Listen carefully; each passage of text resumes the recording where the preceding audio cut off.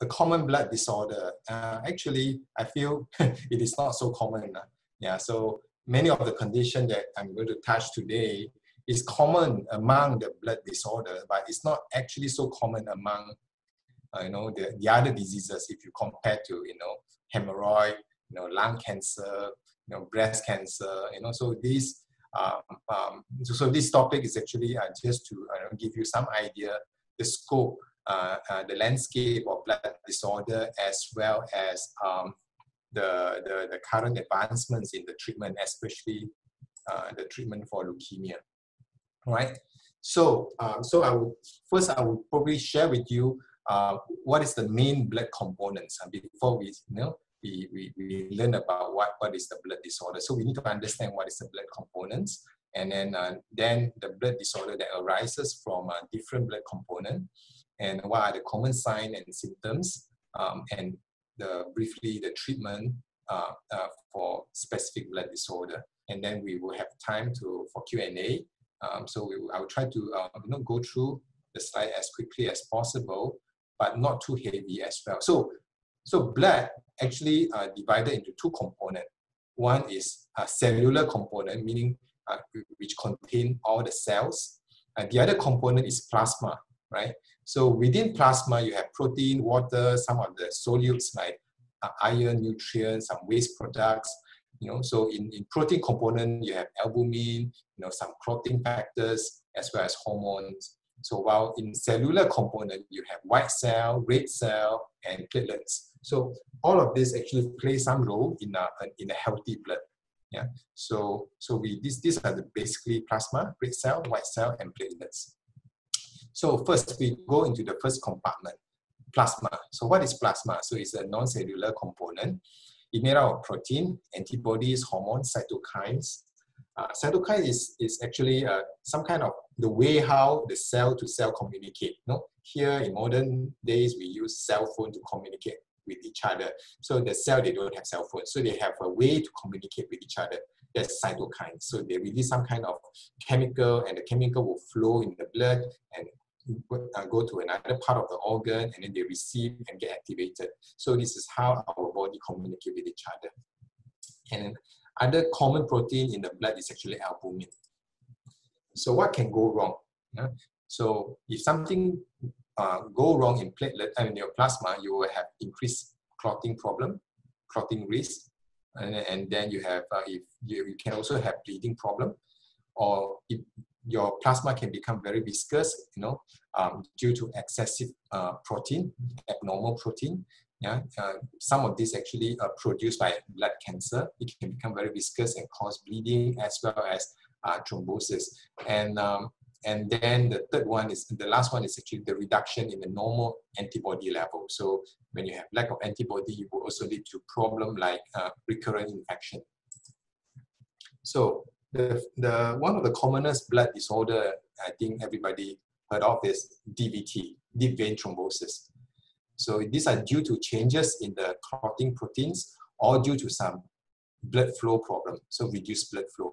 So if you look at this cartoon here, um, so usually DVT happen in the lower limb, lower limb, yeah. So the blood clots, and then the, the main concern about DVT is the the, the clots being uh, dislodged and uh, and flow all the way to the heart and then to the lung, which lead to a condition what we call pulmonary embolism and pulmonary embolism can uh, can can cause sudden death. Yeah, so so these are the typical pictures of a patient with a DVT. You can see this leg actually a bit swollen compared to the other side. Yeah, these are due to the blockage of the vein causing swelling. So the patient may, may experience pain and swelling, um, and this side may feel a bit warmer than the other side. Yeah. So what are the risks?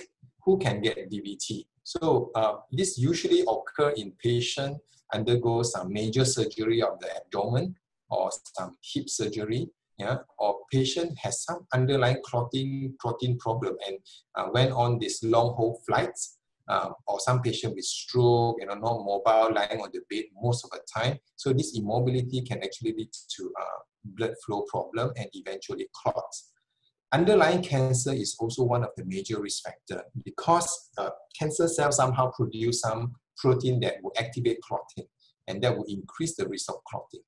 Especially also cancer patients, they're less mobile, they are sicker, so they will actually have higher risk of DVT.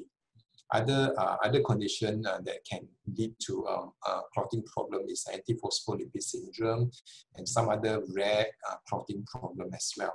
So as I mentioned before, the more uh, the most dangerous part about DVT is pulmonary embolism. So the treatment for DVT is actually quite simple. Uh, you need to dissolve the clots. Okay, so there are medicine available like warfarin, heparin, uh, some of the newer agent, which is uh, much better than warfarin. Uh, you can we can use that to dissolve the clot. Most of the patient will need about three months. Some patient would need lifelong. Yeah. Why some patient need lifelong? Because these are usually due to some genetic problem or some of the condition that we cannot solve. So if you dissolve the clot, you stop the anticoagulation, and then the clots will come back. So these are the underlying uh, problem that we uh, cannot solve. Then this patient will need to be on long-term anticoagulation. Yeah. So Clexane is by injection. These are all oral medication. So the other problem that uh, when you have plasma problem is actually increase increase uh, risk of bleeding. So because as I mentioned before, one of the uh, major protein in the uh, in the blood is actually uh, clotting factors. So if you have lack of these clotting factors, you can lead to uh, clotting problem like having spontaneous bruising, uh, bleeding into the joint, bleeding into the guts like uh, stomach or, or uh, intestine, or worse still, bleeding into the brain and cause sudden death. Uh, so fortunately, all this uh, clotting deficiency or lack of pro clotting proteins is actually quite rare. Yeah, um, the common one will be those due to uh, chronic liver disease. So because most of these clotting factors actually produced by our liver. But if you have you know chronic alcoholic uh, liver, then you may have uh, clotting protein uh, deficiency because due to the uh, reduced production. But usually these bleeding are quite mild. Okay, so what are the signs? So easy, very easy, it's just bruising. And uh, usually spontaneous bruising in the non-trauma prone area. Okay, so usually as a doctor, we look for, uh, you know, very easily we can knock on something on the trauma prone area like elbow or the, the outer, outer part of our arms. So, but if you notice there's a uh, hematoma or bruise over the inner arm or the inner thigh or your abdomen, so these are the non-trauma prone area. That is not so normal. Yeah. So so of course you have to watch how if you have, have recurrent of this, then you it's better for you to uh, quickly have a blood check. Yeah. So other symptoms would be this petechiae. petechiae are usually due to low platelet count. So I'm going to touch on low platelet count later on. So it appear like this. Yeah? So the treatment for bleeding disorder uh, usually due to low in clotting factors. So what we do, we just replace them with clotting factors. So we can give blood product like fresh frozen plasma or cryoprecipitate or some other factor concentrate like alphanate, you know, Beriplex, Nova 7. You know? So all this is available uh, depending on what type of clotting factors that you uh, lack of. Yeah. So next part, the second part we're going to talk about is the platelet problem. So, so normal platelet count range between 150 to 450. Okay, so the function of the platelet is to stop bleeding. So, um, so the platelet, so our, our, our blood vessel will have some small little bleeding everywhere in the blood in the body. So the, the platelet would usually quickly block the, the, the, the breakage of the, the blood vessel. And, and that is how the platelet stop the bleeding. If you have no platelet at all, so what happens is that you will develop petechiae, you know, the red dots on your skins. Yeah, so, so that can happen. So, so what happened to platelet is that you may have low platelet count due to some, some problem, like it, uh, this will lead to increase in bleeding, easy bruising, and the patient may have uh, heavy menstrual flow if you're a woman, okay? Or some patient can be quite well, no problem, until they go through a big surgery and develop bad bleeding during, during the surgical procedure. So this patient, then they discover that this patient actually had platelet problem. Another extreme will be the high platelet count. So when you have too much platelet, yeah, so too much platelet can also increase the risk of uh, clotting, yeah, because platelet is actually used for clotting. When you have too much of this, it will clot easily. So, however, if you have extreme uh, thrombocytosis, like more than 1 million uh, 500, so you will actually bleed. So these are some specific mechanisms that can lead to bleed. I'm not going to uh, explain in detail because it's too advanced for you all to understand. So, um, so this is a picture just to show you. Uh, this the top picture here show no platelet, very little, maybe just one here. You can see dot. Here, the bottom picture have a lot of platelets. So what is platelet? You can see the little dots behind the big red cell, right? So these are the uh, platelets. The red cell is actually the big bigger one is actually the red cell, yeah, that give rise to your hemoglobin. Yeah, so the small little purplish uh, dots are all platelets. So these are the sign and symptom. Basically, petechiae on the skin. These are the common one, like when you have dengue, right? So you have low in platelet. The platelet can drop all the way down to 1,000, 2,000, and you will develop all these petechiae on your, on your hands, feet, and uh, abdomen everywhere. So other than that, they may develop gum bleeding, you know, recurrent nosebleed, uh, prolonged menstrual flow, easy bruising, and petechiae. So what are the causes of thrombocytopenia or low platelet? Okay, it could be divided into two categories. First, due to increase in consumption or destruction. Second, due to um, a production. So, so you have low platelet, it could be due to increase in use or consumption of the platelet, like infection, if you have bleeding, or destruction by antibody. So some condition produce antibody that actually attack the platelet, their own platelet, this one I'm going to touch on it a little bit later on. Um, second is the reduced production. So there's a bone marrow issue. You know, the bone marrow is not able to produce platelet because platelet come from the bone marrow. And again, if you lack of certain nutrition like B12 or folate, you may actually have low platelet production. Yeah. So these are the condition. ITP, immune thrombocytopenic purpura, is a is an autoimmune condition that our body you know become very confused producing antibody attacking our own platelet. Yeah, you can see here, you know, the, the Y shape is actually the antibody. They bind to our platelets here. And then what happened, this uh, platelet that coated with antibody will go through the spleen and the spleen will actually eat up, eat the platelet up. So the platelet will drop. Yeah. So ITP can be uh, divided into two types. One is acute, another one is chronic. So acute, uh, usually severe, they present with bleeding you know, like bruising, bleeding, um, blood in the urine, or even GI bleed. So most of these patients present with platelet count of less than 10,000. So our normal platelet count, if you remember, is usually between 150 to 400,000. So this is less than 10,000. It's extremely low. Chronic ITP usually is milder. Most of these patients asymptomatic, meaning without symptoms. Some of these patients discovered incidentally due to health screen, and then after that, um, hematologist will screen through all the possible uh, tests, and then at the end will come to conclusion that this patient has a chronic ITP. Uh, so the, the platelet range between 20 to 100 and most of these are actually quite quite mild and no symptoms and we usually leave them alone we don't give them any treatment so the treatment of ITP is actually quite straightforward. We just give them steroid in all the acute ITP.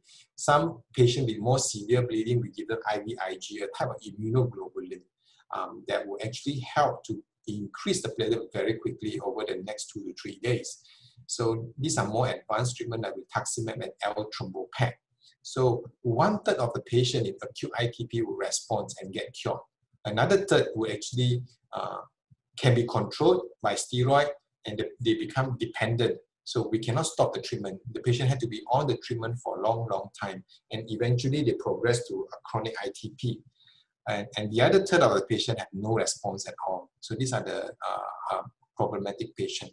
However, this the other one that uh, now we have a newer therapy is eltrombopag, this one, Revolade uh, which has actually uh, improved the outcome of this, uh, the third type of ITP.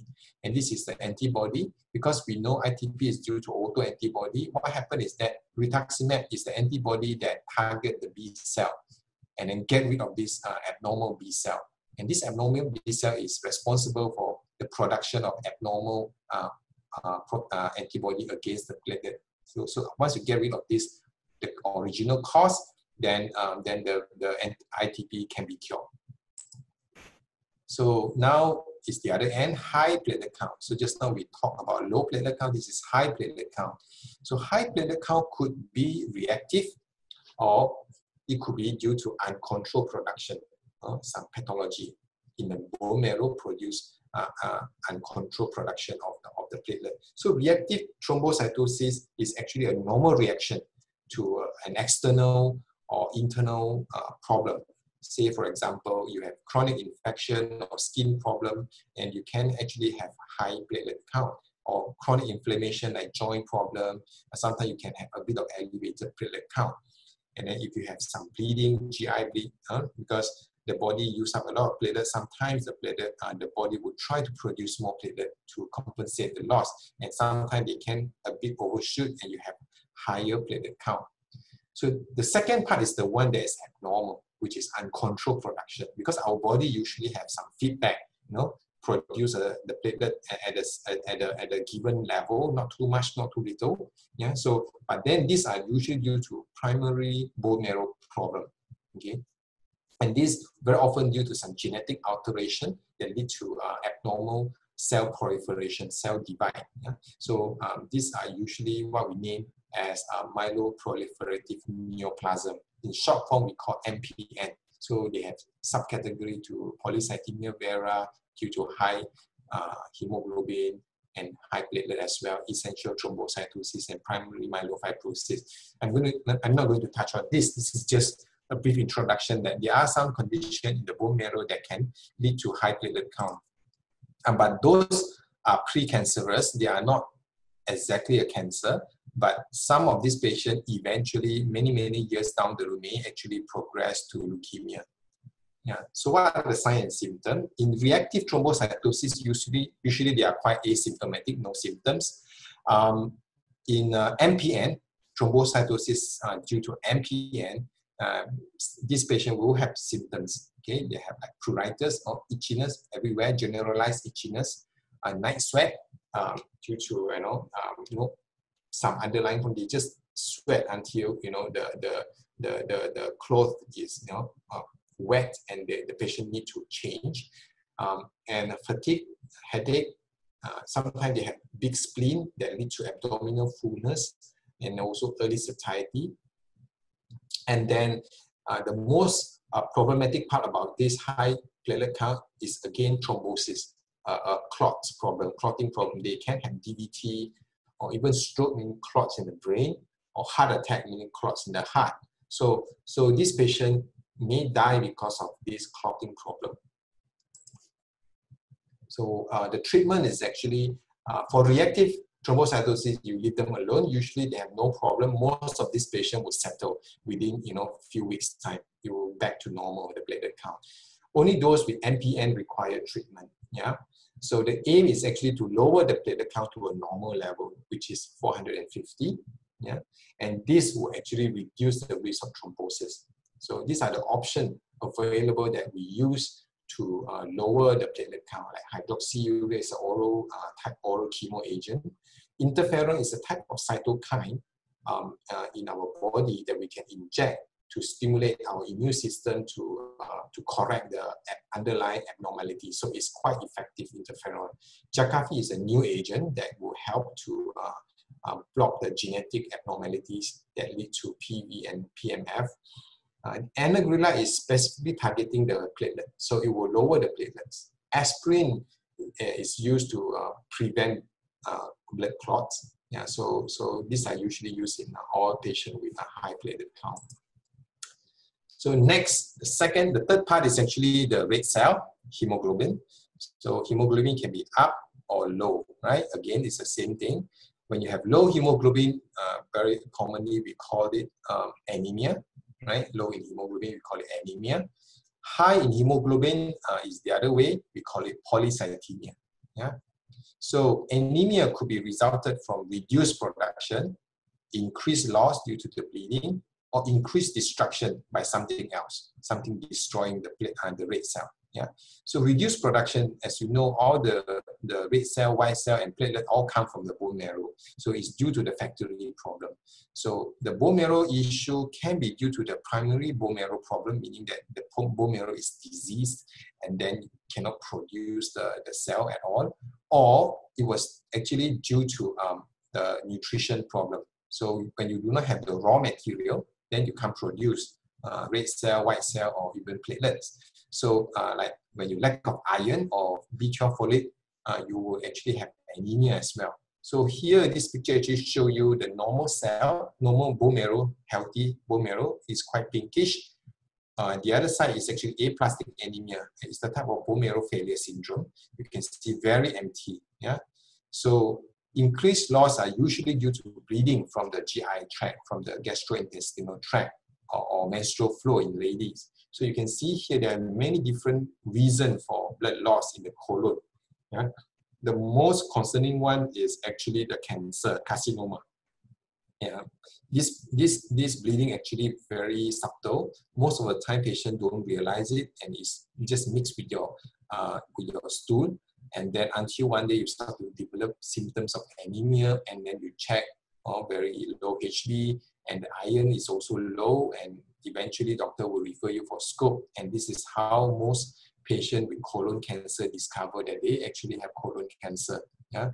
So destruction is basically due to a mechanism that actually destroy the red cell. Yeah. The red cell has a membrane get destroyed. Yeah. So uh, thalassemia is one of the inherited disorder who actually have hemolysis, a long-term hemolysis while uh, another condition, acquired condition, is an antibody that is targeting our red cell that lead to destruction of our red cell. Almost the same mechanism as uh, the ITP, the, the one that is uh, uh, attacking the platelet. So, but this one is attacking our red cell.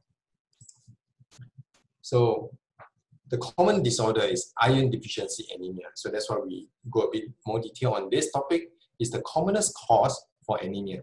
Yeah, and as I mentioned before, iron is very essential for the production of red cell and hemoglobin. As you can see from this cartoon, the, the iron actually stay in the central of the heme group, and heme group is actually within the hemoglobin.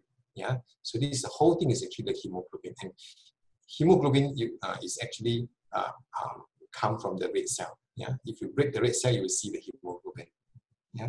So, um, so iron deficiency can be due to blood loss mostly. Yeah, either acute bleeding from the peptic ulcer or trauma, or chronic bleeding due to heavy menstrual flow or colon cancer, for example.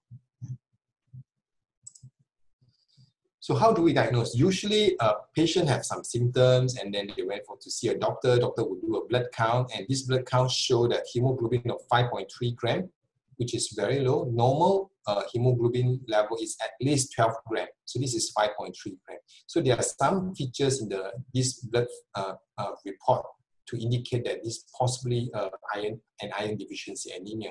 Like MCV is low, MCH is low, and LDW is high. Because of this, then doctor will suspect that this is iron deficiency anemia. Of course, you have to prove that the patient have lack of iron, right? So this is an iron study that actually show very severe iron deficiency. You know, so but then we we would not stop here. No, not like oh we have iron deficiency anemia, we just replace you with oral iron. That's it. Full stop. We need to find out why are you losing iron. Most of the time, it's due to the bleeding. So if you're older group of patient, we will actually do a, recommend a scope yeah, upper scope and lower scope to look for uh, any underlying uh, problem, like especially the colon cancer. In a female, young female present with iron deficiency, very often we need to assess their menstrual history. You know, if they have heavy menstrual flow, then we will have to refer the lady to um, gynecologist. Yeah?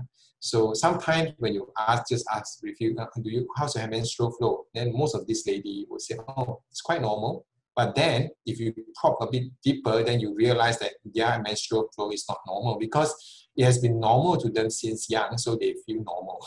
So, so, so when you ask them a bit more detail, then we know it is actually not so normal. Yeah. So this is the level. So the treatment of for, for iron deficiency is quite straightforward.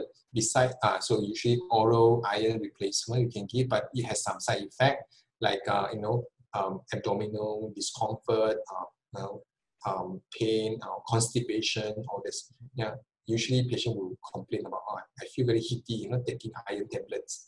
And then your stool will become very dark. And sometimes they actually scare the patient off. Yeah.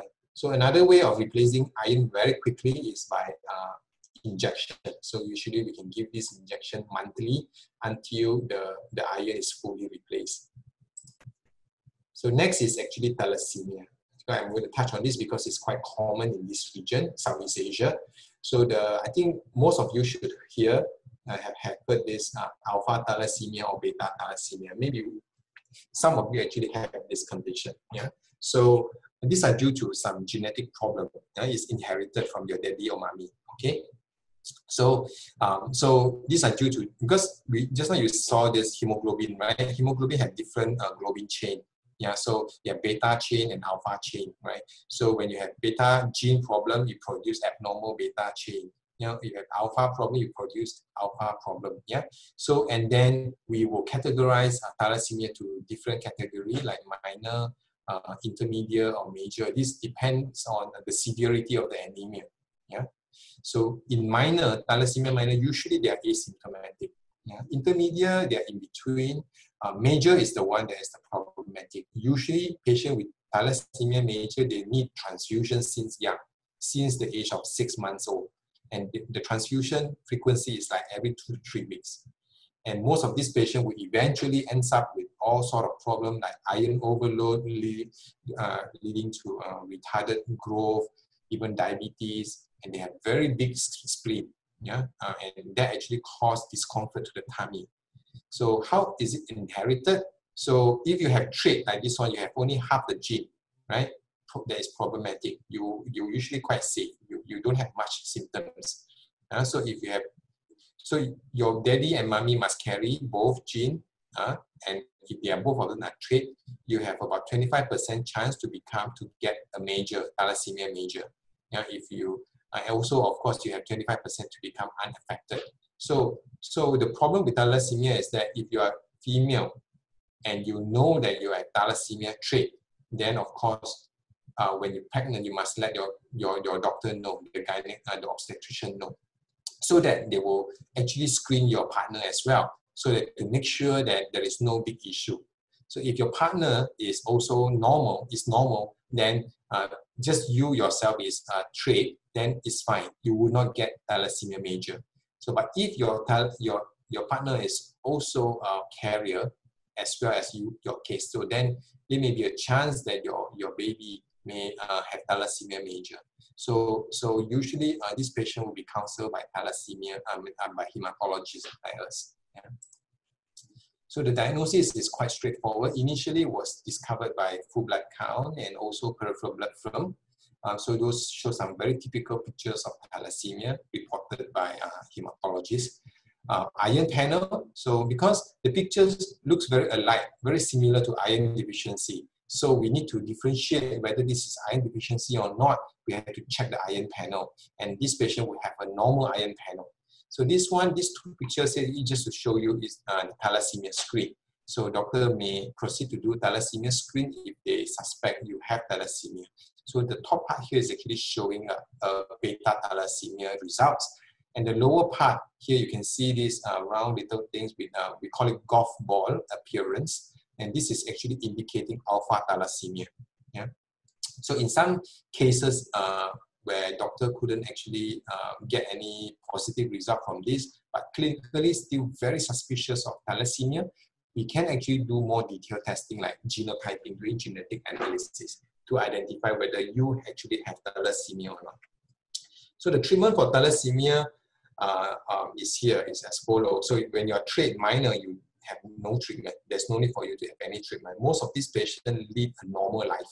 Yeah. So the concern is actually their offspring, their baby. So make sure they, they marry uh, a non-thalassemia partner. Yeah. but you cannot choose, right? Uh, so thalassemia intermediate um, is, uh, is, is actually uh, uh, in between. Uh, some of these patients are quite well, but they have much, much lower hemoglobin. The hemoglobin can be ranging between 7 gram to 9 gram, yeah, compared to a normal level of 13 gram. Yeah. In thalassemia minor, the, the hemoglobin level is between 10 gram to about 11 gram. So they are not so low. While thalassemia major, the hemoglobin can be as low as 4 gram, 5 gram. So, so this patient would require transfusion, as I mentioned before. And because of the regular transfusion, uh, patient develop iron uh, overload because every bag of blood contain a lot, a lot of iron. So, and if you keep transfusing iron into your body, and the body has no way to get rid of the iron, then you will develop iron overload. Too much iron in the body can actually lead to heart failure, yeah, and also liver failure, and all kind of endocrine problems like diabetes, hypothyroidism, growth retardation, you know, hypogonadism, like lack of um, you know sex hormone, yeah. So a lot of problem can happen. So in a very very selected patient, we can actually offer them a bone marrow transplant in a thalassemia major, not only in the thalassemia major. And this has to be done quite early in, in, in, the, in, the, in the patient's life, like usually in the age of uh, 13 or 14 years old. Anybody go above that, most of the time it's quite difficult to treat.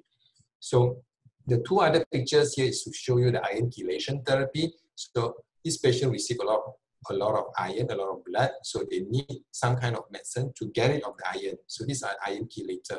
So when you take this, it will get rid in the guts or get uh, you will or maybe you actually you uh, pee out the, the iron. So the urine may appear uh, reddish, yeah, because of the iron. So the next part of the uh, uh, hemoglobin problem is too much hemoglobin. Yeah. So again, you have primary and secondary. So secondary means it's a body reaction to a second secondary to something. Yeah. So like in uh, secondary polycythemia is usually referring to a normal compensatory mechanism by our body due to lack of oxygen. So if like those people who live in Himalaya or Nepal, so if you check their hemoglobin level, their hemoglobin level is high, maybe in the region of 16 gram to 17 gram. So it's very high.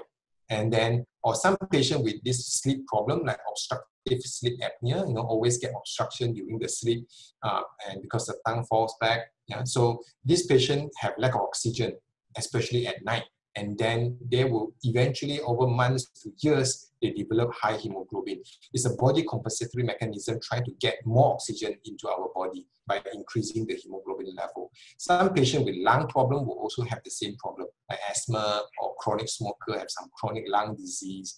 Um, so they will have this problem as well increase in hemoglobin level.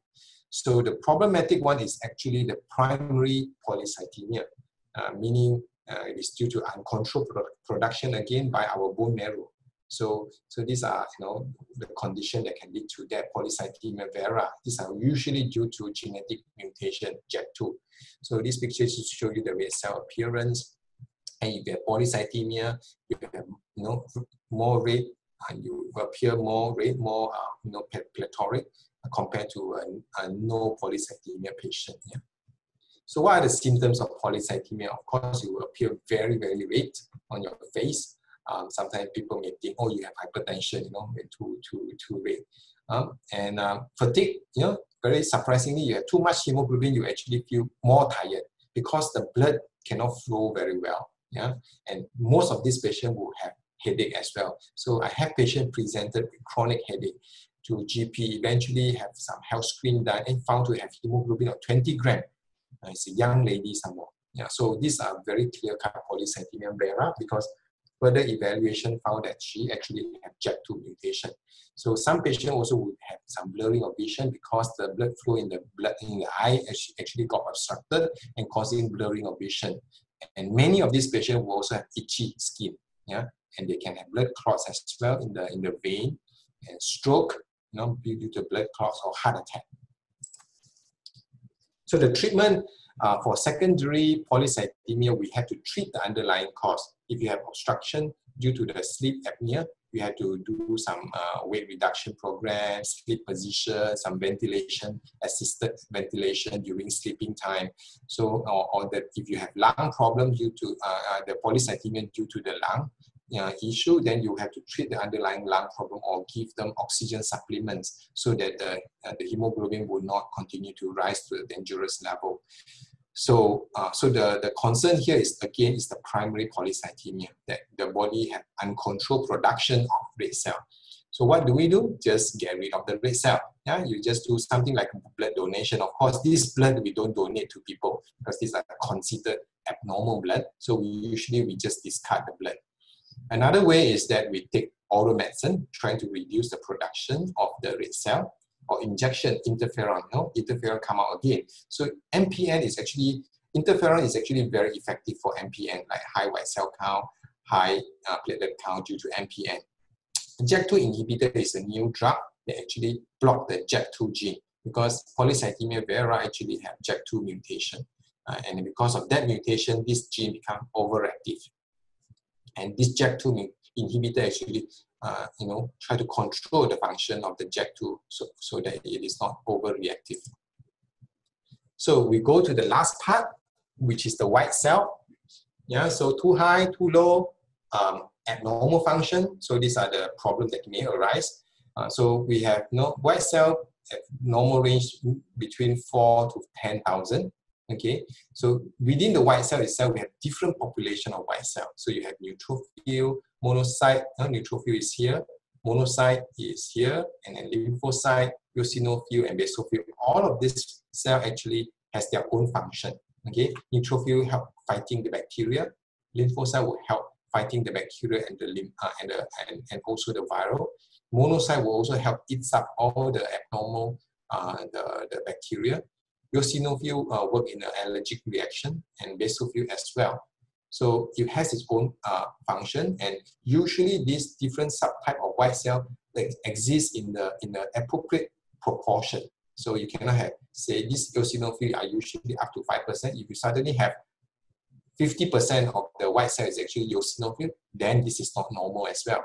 Yeah, so it has an appropriate uh, uh, proportion. Yeah, so when you have low uh, white cell, you can also uh, it was it, it is usually due to bone marrow failure problem, like bone marrow fail to produce cell like red cell, white cell, or platelet, or aplastic anemia. Yeah.